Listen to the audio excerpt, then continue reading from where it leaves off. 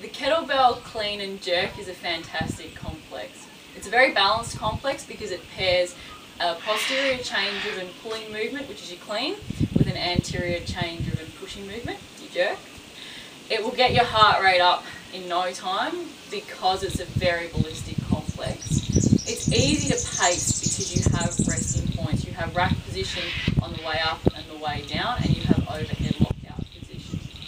Really, really good complex, fantastic So, simply clean and jerk. Back down,